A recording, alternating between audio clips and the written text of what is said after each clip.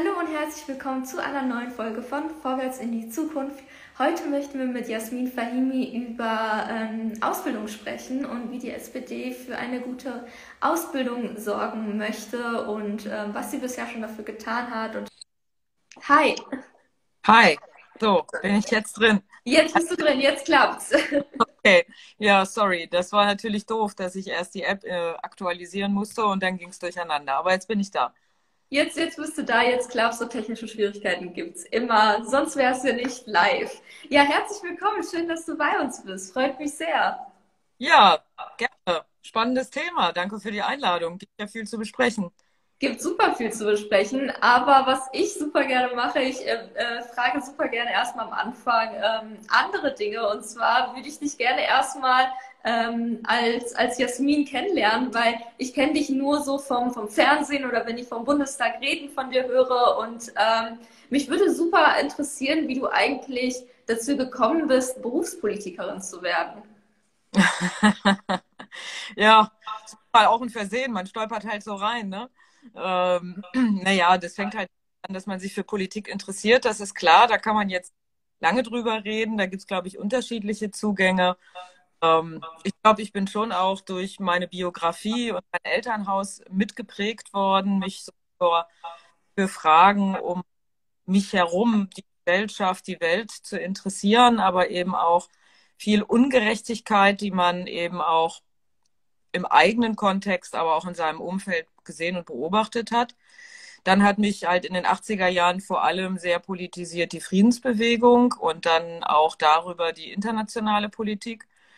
Bin dann bei den Jusos eingestiegen, habe mir aber trotz alledem gedacht, ich müsste doch noch mal was Richtiges lernen und bin dann erstmal durch einen Diplom-Chemiestudiengang gegangen, also bin Diplomchemikerin geworden, aber immer der Politik auch treu geblieben. Das hat mich dann zur Gewerkschaft irgendwie über ein paar Umwege gebracht, weil ich auch da gedacht habe, es ist nochmal ein interessanter Zugang, so über ähm, ja quasi so einen Praxisbezug zu haben und Politik konkret zu machen.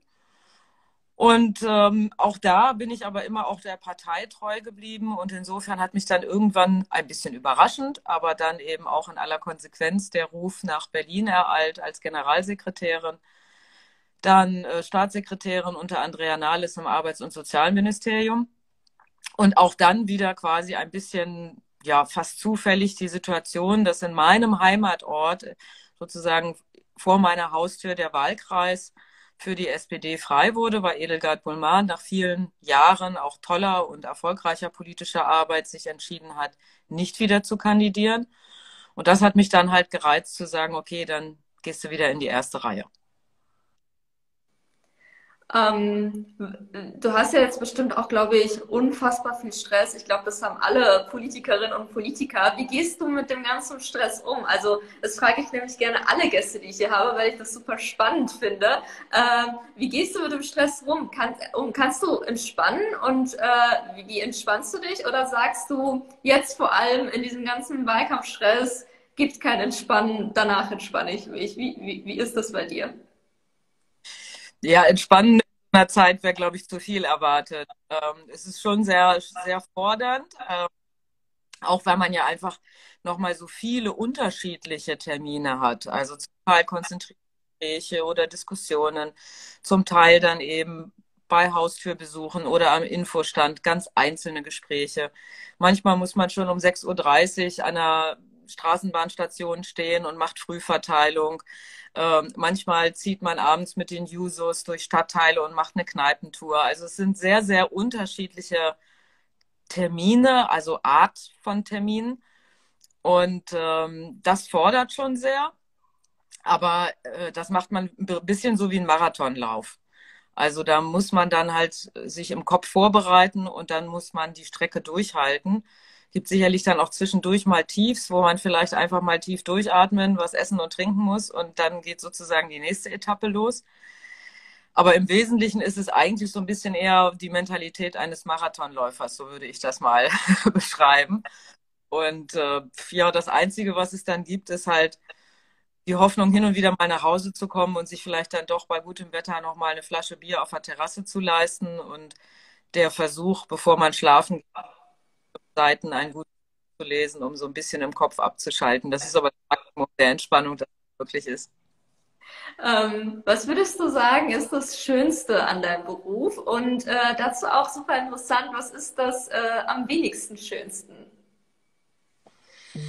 Also das Schönste ist natürlich, wenn man einfach was machen kann für die Leute. Es sind ja manchmal auch ganz kleinteilige Sachen, dass man Anfragen bekommt, wo jemand einfach feststeckt in, in, in der Behörden, in irgendeinem Behördenapparat oder in irgendeinem Verwaltungsablauf oder jemand auch um Hilfe ruft, weil er einfach in einer sehr desolaten Lebenssituation ist.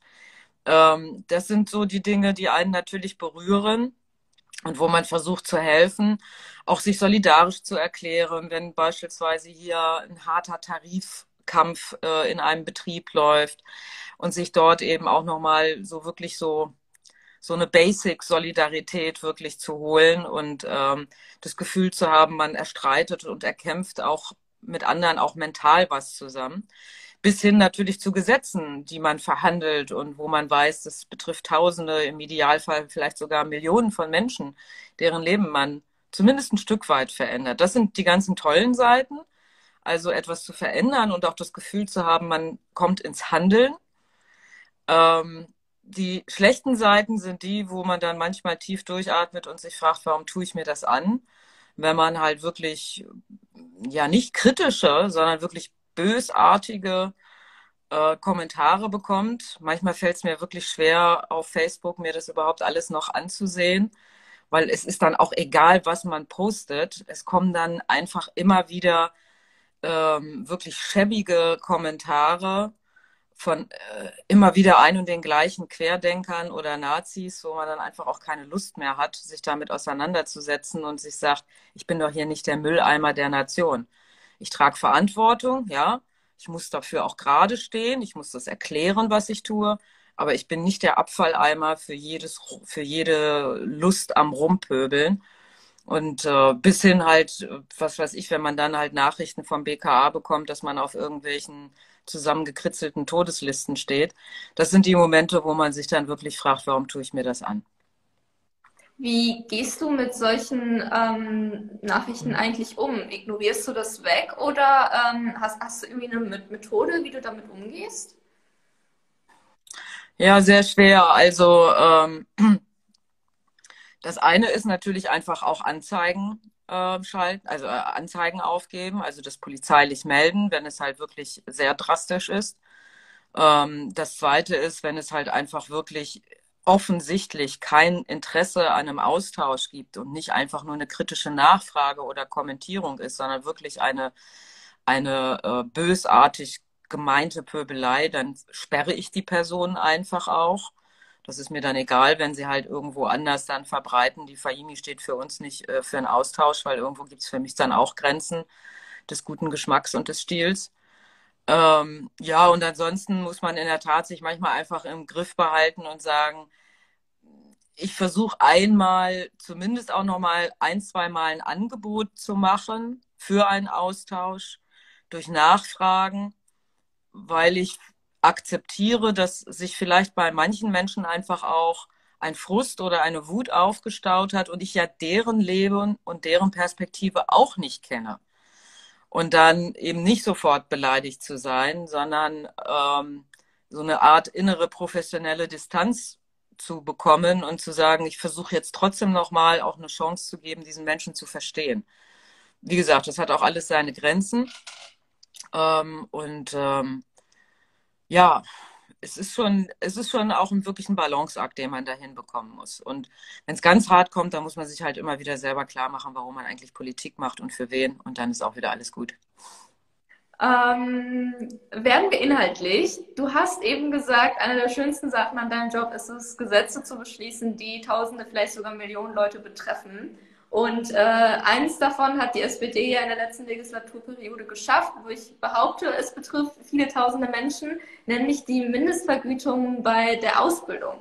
Ähm, was hat es damit auf sich? Kannst du uns vielleicht mal kurz erklären, was ihr da beschlossen habt, warum und wem das jetzt konkret wie hilft?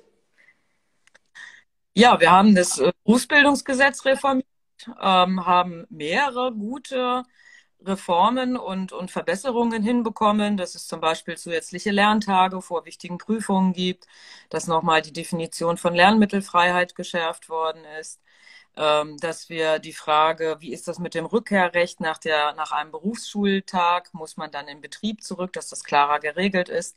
Also da gibt es eine ganze Reihe von einzelnen Verbesserungen, mit denen vielleicht jetzt die Mehrheit gar nichts anfangen kann, aber die eben Tausende von Auszubildenden betreffen.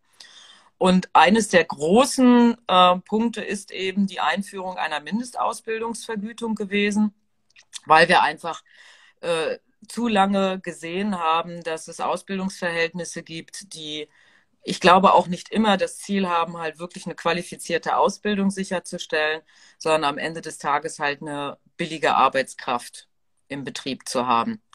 Und das geht nicht.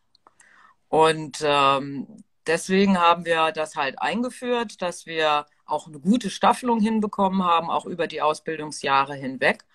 Und ähm, ich glaube, damit halt nicht nur ja, ein Signal auch an viele Jugendliche gegeben haben, deine Ausbildung ist was wert, sondern ich glaube auch damit deutlich gemacht haben, dass wir die Attraktivität von beruflicher Bildung stärken wollen. Gibt es etwas, äh, was ähm, du gerne in dieser Legislatur noch beschlossen hättest für, ähm, für den Bereich Ausbildung und was nicht durchgegangen ist? Oder sagst du, alles, was wir durchsetzen wollten in den letzten vier Jahren, haben wir geschafft? Nein, da würde mir noch ganz viel einfallen. Zum Beispiel, was das Mitbestimmungsrecht von Jugend- und Auszubildendenvertretungen angeht. Ähm, oder aber eben zum Beispiel endlich eine komplette Schulgeldbefreiung für alle Berufsausbildungen, also nicht nur die, die im Berufsbildungsgesetz verankert sind, sondern zum Beispiel auch für die Erziehungs-, soziale und therapeutischen äh, Berufe, dem endlich einen Beruf, äh, Bundesberufsrahmen zu geben, in dem ihre Besonderheiten und Eigenheiten berücksichtigt werden, die eben nicht immer eins zu eins wie in der dualen Ausbildung sind, aber die eben auch Ausbildungsberufe sind. Und da ähm, Anerkennung, eine bundeseinheitliche Verordnung zu haben, die diese, die diese äh, Ausbildung qualitativ sichert, aber die auch Ausbildungsvergütung, also nicht nur eine Schulgeldabschaffung, sondern auch eine Ausbildungsvergütung auch in diesen Berufsbildern sicherstellt. Das ist zum Beispiel, glaube ich, eine große Reform, die wir, die wir bringen müssen. Und naja, und das, was wir jetzt halt eben ins Wahlprogramm haben, das wäre ganz wunderbar, aber völlig undenkbar mit der Union. Das ist natürlich die Ausbildungsgarantie. Zur Ausbildungsgarantie würde ich dich tatsächlich noch fragen wollen. Ähm, wie, wie wird das funktionieren? Also, was kann ich mir unter einer Ausbildungsgarantie vorstellen? Ist es dann, die SPD garantiert, dass jede Person, die eine Ausbildung finden möchte, dann auch auf jeden Fall eine findet? Oder was kann ich mir eigentlich unter Ausbildungsgarantie? Weil das klingt irgendwie zu einfach, als dass es möglich ist. Was steckt dahinter? Ja, das stimmt. Da muss man technische Fragen beantworten, aber eigentlich sollte es sein, wie du gerade gesagt hast. Ich finde, wir brauchen ein umfassendes Ausbildungsversprechen an die junge Generation. Wir können uns das nicht mehr leisten, dass jedes Jahr über 2000 Jugendliche in die sogenannten Übergangssysteme gehen wo zumindest nicht alle von denen hingehören. Und wir haben inzwischen über zwei Millionen Jungerwachsene zwischen 25 und 35 ohne Berufsabschluss. Das ist auch eine Folge davon, dass es eben keine Ausbildungsgarantie für sie gegeben hat. Wie funktioniert das? Also erstens denken wir uns das nicht ganz neu aus, sondern das gibt es schon beispielsweise in Österreich. Und äh, ich finde, dass man sich vieles davon abgucken kann. Das heißt halt, ja, es gibt sich Jugendliche, die müssen zum Beispiel einen Schulabschluss nachholen, haben Sprachbarrieren oder sie brauchen tatsächlich auch eine andere sozialpsychologische oder sozialpädagogische Begleitung, weil sie vielleicht Traumatisierungen, Suchterkrankungen oder ähnliches haben. Das ist also auf einem anderen Blatt. Aber alle Jugendlichen, die sich um einen Ausbildungsplatz bemühen und den nicht bekommen, also bis zu Datum X, keine trotz Bewerbungen keine Ausbildungszusage bekommen, die würden dann ein außerbetriebliches Angebot bekommen, sozusagen vom Staat, der öffentlichen Hand, und würden erstmal außerbetrieblich eine Ausbildung anfangen, anstatt jetzt halt irgendwelche Kurse zu machen. Das heißt, sie steigen in eine voll Ausbildung ein. Damit das aber nicht einfach nur zu so einer Art Ausbildung zweiter Klasse wird, wollen wir dann auch, dass wir entsprechende Kooperationsbetriebe haben, in denen mindestens bestimmte Praxisteile weiterhin bestehen, mit der Option, Jugendlichen möglich, möglichst im ersten Jahr auch dann vermittelt werden. Wenn das aber nicht funktionieren sollte, dann muss auch die Möglichkeit bestehen, dass die Ausbildung halt außerbetrieblich abgeschlossen werden kann. Aber äh, die Kooperation wir hinbekommen. Jetzt kann man sich fragen, ja, warum machen wir das dann nicht gleich von Anfang an so? Viele Betriebe haben aber Hemmnis, weil sie vielleicht sagen, wir sind uns überfordert, wir sind nur ein kleiner Betrieb, wir kriegen das alles gar nicht mehr so abgebildet. Oder aber weil sie vielleicht auch sagen, weiß nicht, ob wirklich dieser Jugendliche zu mir passt. Ich habe da Sorge, ob der wirklich äh, irgendwie sozial, kulturell, ne, manchmal gibt es eben einfach Vorurteile, ob das wirklich so passend ist. Und man dann oft diese Hindernisse abbauen kann, wenn es halt tatsächlich persönliche Begegnungen, ein persönliches Miteinander gibt.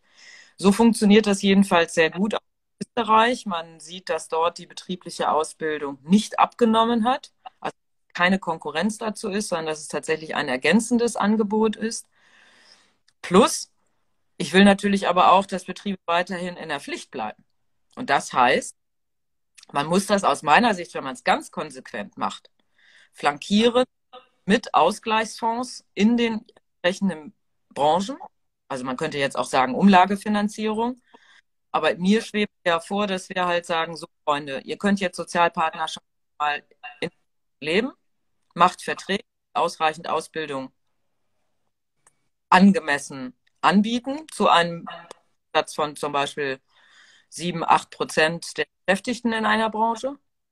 Und wenn ihr das nicht hinkriegt, dann machen wir halt aus von der öffentlichen Hand und dann muss es eben eine entsprechende Abgabe geben. Und diese Abgabe dient dann halt eben auch der Refinanzierung der äh, Ausbildungsstätten, die wir dann aufbauen müssen. Ein weiterer Punkt, der im Wahlprogramm steht, ist, dass die Ausbildung in vor allem Berufen wie in der Pflege und in der Erziehung gestärkt werden soll. Ähm, was kann ich mir darunter vorstellen? Dass die Berufe attraktiver gemacht werden oder dass ähm, ja, die Schulung gestärkt werden soll? Was kann ich mir unter dem Punkt aus dem Wahlprogramm eigentlich genaueres vorstellen? Ja, das eine hat mit Ausbildung zu tun, was wir gerade eben schon gesagt haben. In der Pflege haben wir ja ein Bundespflegeberufegesetz äh, eingeführt. Äh, das, glaube ich, viele Verbesserungen gebracht hat. Das muss ich jetzt erst noch ein bisschen einleben und dann muss man es auch evaluieren, aber ich glaube, das ist ein richtiger Schritt. Und das Gleiche will ich im Prinzip auch für die Erziehungs- und die Sozialberufe, ähm, dass wir diese Prinzipien verankern. Äh, grundsätzlich ist natürlich, was die Attraktivität der Berufe angeht, nicht nur die Ausbildung relevant. Das ist uns natürlich auch klar, sondern es geht vor allem auch um Vergütung und um Arbeitsbedingungen. Und da haben wir natürlich in der Pflege eine riesen Baustelle. Es äh, ist uns glücklicherweise auch gelungen, dass wir jetzt ein Tariftreuegesetz in der Pflege eingeführt haben. Aufgrund des Ausbremsens der Union leider erst ab nächstem Jahr, aber immerhin. Ähm, das heißt, da ist jetzt Schluss mit den untertariflichen Entlohnungen. Aber da muss man weitergehen. Und ähm, es geht natürlich dann am Ende des Tages vor allem darum, dass halt viele zu Recht beklagen, dass einfach die Belastung enorm groß ist, weil die Personalbemessung nicht stimmt. Und das heißt, wir müssen eine, zu einer besseren Personalbemessung kommen. Auch da haben wir zwar eine Untergrenze eingeführt, also was an Pflegepersonal vorgehalten werden muss. Die ist aber zu niedrig. Und das Problem ist, dass halt viele ähm, Leitungen von Trägern dieser Einrichtungen, ob jetzt Altenheime oder Krankenhäuser, ähm, sich halt nur an diese Untergrenze halten, aber nichts add-on machen. Und was wir dann machen müssen, ist, glaube ich, so eine Untergrenze definieren, sie höher setzen, aber eben einen flexiblen Teil oben draufsetzen, wo man sagt, okay, wie ihr das dann zusätzlich einsetzt, das müsst ihr dann jeweils in der eigenen Einrichtung sehen, aber ihr müsst es draufsetzen, zusätzlich zu der Untergrenze. Das wären, glaube ich, äh, sehr wichtige Maßnahmen.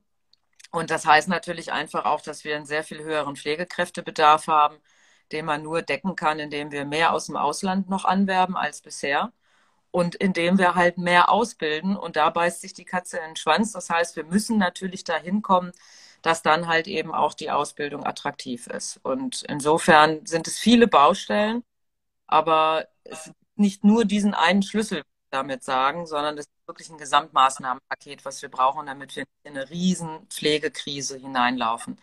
Ich habe hier gerade neulich ein gutes Gespräch mit, äh, mit einer Mitarbeiterin der Diakovere gehabt, die das auch sehr deutlich so mit unterstützt haben und die zum Beispiel mir eine sehr erschreckende Zahl gesagt haben. 50 Prozent der Pflegekräfte in Deutschland gehört zur Generation der Babyboomer. Das heißt, die gehen in den nächsten zehn bis zwölf Jahren in Rente. Diese Lücke, auf die können wir nicht blind zulaufen. Die müssen wir jetzt sozusagen noch doppelt und dreifach durch Ausbildung ähm, ausgleichen, um halt eben nicht in eine totale Katastrophe bei der Pflege, in der, in der, in der Pflege zu laufen. Also ein, ein wirkliches, riesengesellschaftliches Problem, das wir derzeit haben. Ähm, wir haben jetzt zwei Punkte schon angesprochen, ähm, die im Wahlprogramm stehen zur Ausbildung. Da stehen natürlich auch viel, viel mehr. Ich glaube, es wäre jetzt, es würde einen Rahmen springen, wenn ich dir, dich jetzt bitten würde, alle Punkte zur Ausbildung einmal zu nennen und zu erläutern. Aber vielleicht kannst du mir abseits von den zwei Punkten noch ähm, vielleicht ein, zwei andere Punkte nennen, die du sagst, die sind besonders wichtig ähm, für eine gute Ausbildung. Ja, ich will mal einen anderen Punkt rausgreifen. Wir haben ja viel über berufliche Bildung gesprochen. Es gibt natürlich auch noch die akademische Ausbildung. Und äh, da sagen wir halt ja klar, wir brauchen einfach nochmal eine sehr viel größere BAföG-Reform. Die Reform, die wir in dieser Legislatur mit der Union hinbekommen haben, die ist zwar in die richtige Richtung gegangen, aber sie reicht überhaupt nicht. Der Anteil der Studierenden, die BAföG berechtigt sind, der Anteil der Studierenden, die aus äh, sogenannten Arbeiterhaushalten kommen, also die nicht akademische Vorprägung durchs Elternhaus haben, äh, der nimmt nicht nur nicht zu, sondern der hat sogar abgenommen und das geht gar nicht. Und deswegen brauchen wir eine große BAföG-Reform. Ähm, das bezieht sich einerseits natürlich auf die Einkommensgrenzen der Eltern, die einfach viel, viel höher sein müssen. Es bezieht sich darauf, dass wir neben der Erhöhung der BAföG-Sätze und des Wohngelds, das wir ja jetzt schon in der Legislatur verbessert haben, aber glaube ich noch mal sehr viel stärker auch ähm, ähm, die Angst vor Schulden nach dem Studium nehmen müssen und deswegen perspektivisch von dieser, von dieser Darlehenslogik im BAföG raus müssen. Also das heißt perspektivisch zum Vollzuschuss beim BAföG kommen müssen und das Ganze sollte dann halt eben auch mit allen Möglichkeiten, die man dann hat, was noch, ich sag mal, Stipendien oder Büchergeld oder Wohngeld angeht, halt tatsächlich in der Gesamtsumme so sein, dass es auch wirklich existenzsichernd ist. Das äh, BAföG feiert ja morgen. Morgen ist das ja auch schon den, den 50. Geburtstag. Ähm, was sind da jetzt gerade eigentlich ähm, Unterschiede zum BAföG, wie es äh, von vor 50 Jahren war? Also wir hatten vor einigen Wochen mal ähm, ein Gespräch mit Oliver Nerger von den Juse Hochschulgruppen und er hat gesagt, dass naja, vor 50 Jahren haben noch viel, viel mehr Menschen BAföG bekommen als heute. Ähm, wie sieht da gerade der Stand aus? Bekommen ähm, noch genug Menschen BAföG oder würdest du sagen, ähm, das ist gerade ganz anders, als der Ursprungsgedanke von BAföG eigentlich war. Nee, genau, das habe ich ja schon gerade angedeutet. Das ist genau nicht mehr der Fall. Jetzt kann man natürlich auch sagen, okay, in den letzten 50 Jahren ist ja auch noch mehr passiert. Ne? Also wir haben einen viel höheren Anteil zum Beispiel von Abiturientinnen und Abiturienten. So, manche behaupten ja schon, dass halt irgendwie deswegen sei das Abitur nichts mehr wert. Das halte ich für kompletten Blödsinn. Das ist erstmal ein riesengroßer bildungspolitischer Erfolg, der vor allem uns zu verdanken ist, also der, der SPD. Ähm, äh, und insofern ist es natürlich so, dass einfach viele dadurch auch natürlich eine, eine Berufsperspektive, also eine Elterngeneration, eine Berufsperspektive hatte, weswegen die Kinder vielleicht auch heute nicht so vom BAföG abhängig sind, wie sie es vielleicht noch vor fünf Jahren waren. Ne? Also das gehört natürlich auch zur Wahrheit dazu. Das heißt, mein Ziel ist ja nicht, dass zwangsläufig immer 50 Prozent der Studierenden BAföG bekommen müssen. Aber mein Ziel ist, diejenigen, die nicht studieren gehen oder abgefühlen vom Studieren gehen, weil sie Angst vor Schulden haben, weil sie ihren Eltern nicht zumuten wollen, sich quasi ähm, noch Jahre hinweg alles vom Munde absparen zu müssen, nicht in Urlaub fahren zu müssen, kein neues Auto zu kaufen. Vielleicht zwei Kinder, die gerne ins Studium schicken wollen, aber sich für eins leisten können. Das alles darf es nicht geben. Und wir sehen halt einfach, dass es viele Kinder mit Abitur aus einkommensschwachen Haushalten gibt, die sich am Ende deutlich geringer für ein Studium entscheiden. Und ich glaube, dass das ähm, eben nicht alleine daran, die quasi geringe Interesse haben. Also so, statistische, so einen statistischen Zufall kann es überhaupt nicht geben. Und deswegen geht es mir nicht darum, wie viel Prozent am Ende BAföG bekommen, sondern äh, die Frage, welchen Haushalt betrachten wir eigentlich als förderfähig? Und das geht schon damit los, dass wir eine Kindergrundsicherung hören wollen, die also tatsächlich Haushaltseinkommen betrachten, auch danach, wie viele Kinder förderbedürftig sind. Und eben nicht, wie die Union jetzt gerade im Wahlkampf rumläuft und sagt, ja, wir wollen den Kinderfreibetrag erhöhen. Ja, den Kinderfreibetrag zu erhöhen, das hilft nur Spitzenverdienern, aber nicht Einkommenshaushalten, die äh, Jahreshaushaltseinkommen von unter 60.000 Euro haben. Denen hilft das nicht. Und das sind aber die Haushalte, die wir in den Blick nehmen müssen. Und ähm, mit einer Hintergrundsicherung, die dann zum Beispiel in der Ausbildung und im Studium auch direkt ausgezahlt wird, an dann jeweils den Jugendlichen, der sich in Ausbildung befindet ähm, und damit halt ein Direktzuschuss ist, Zuschuss ist mit einem besseren BAföG, das ein höheres Elterneinkommen berücksichtigt. Damit kriegen wir diese Einkommensklassen viel, viel stärker in den. Das ist mein Ziel. Ähm, wir kommen langsam leider schon zum Ende des Gesprächs. Deswegen würde ich dich gerne mal fragen, was würdest du dir insgesamt, du hast zu jedem Thema mal gesagt, wie es weitergehen soll, aber insgesamt, was würdest du dir ähm, für die Zukunft wünschen? Also wenn jetzt alles idealerweise läuft, wie soll die Zukunft für die Ausbildung aussehen? Ui. Ganz utopisch. Ähm, ja, oh Gott, das ist jetzt eine Frage, auf die bin ich gar nicht vorbereitet. ähm, ja, was würde ich mir wünschen? Naja, eigentlich das, was ich, ähm, was ich jetzt schon ange was ich ja im Prinzip jetzt schon angedeutet habe. Also ich würde mir wünschen, dass jeder junge wirklich frei von Finanzsorge und in Kenntnis dessen, was es alles gibt, sich nach seinen Talenten und Neigungen aussuchen kann, welchen Aus, welche Ausbildung er macht. Ich glaube, dass viele junge Menschen nach dem Berufsabschluss viel zu wenig Orientierung haben, was sie wirklich für Optionen haben. Das findet in der Schule nach wie vor viel zu wenig Berücksichtigung, sich wirklich selber kennenzulernen, welche Neigung, Talente habe ich und welche Optionen gibt es da draußen eigentlich. Ähm, und dann halt eben wirklich freie Wahlentscheidungen zu haben, unabhängig vom Geldbeutel der Eltern. Das wäre so die, die wichtigste Utopie, die ich mir wünschen würde. Ähm, und ich bin aber ja auch der Überzeugung, um dann vielleicht ein Thema zum Abschluss noch anzusprechen, nämlich Weiterbildung. Ich bin ja der Auffassung, dass wir neben dieser freien Berufswahl nach der Schule ähm, es schaffen müssen, dass die Menschen, egal welchen Alters, nochmal diese Option haben, dieses, diese freie Entscheidung nochmal später in ihrem Leben treffen zu können. Also, dass ich nicht nur nach der Schule abgehe und jetzt irgendwie so das Gefühl habe, okay, jetzt muss ich mich entscheiden und damit definiere ich den Rest meines Lebens.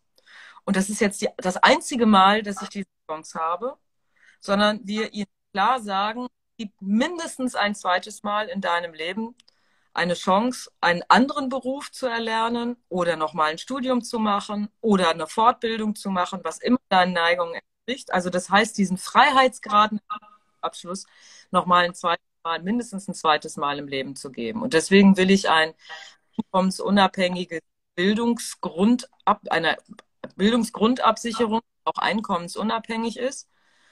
Nach meiner Vorstellung von 1200 Euro, auf die ich mindestens drei Jahre lang greifen kann. Das heißt, eine junge Frau, die sagt, ach Mensch, mein Herz blutet irgendwie für die Pflege und ich will in die Pflege gehen, aber ich kann mir gar nicht vorstellen, wie ich das 50 Jahre lang machen soll. Die würde vielleicht viel freier im Kopf, ähm, wenn sie wüsste, naja, egal, ich mache das jetzt. Und vielleicht mache ich es nur 10 Jahre, vielleicht mache ich es auch 20 Jahre. Aber ich weiß, dass wenn ich was anderes machen will, dass ich auf jeden Fall nochmal in meinem Leben die Freiheit habe, neu zu entscheiden und mich neu zu erfinden. Das würde ich richtig geil finden. Das ist jedenfalls etwas, was ich mir manchmal auch schon im Leben gewünscht habe und was ich glaube, was für viele andere auch so ein Befreiungsschlag wäre, nicht das Gefühl zu haben, Schule muss ich den Rest meines Lebens definieren.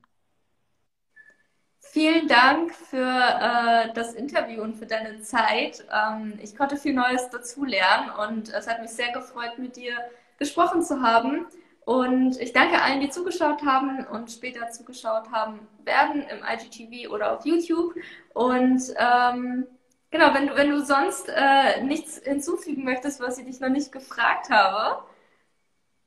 Nee, ich sage nur Danke zurück an alle Interessierten und an dich, Daniela, für deine charmante Moderation und wünsche dem Vorwärtsverlag natürlich weiterhin immer gut informiert zu sein und ähm, ansonsten uns allen gemeinsam super Wahlerfolg in knapp vier Wochen. Genau, vielen Dank. Ähm, ich wünsche noch einen wunderschönen Restnachmittag und äh, bis hoffentlich bald. Ja, danke. Tschüss. Ciao.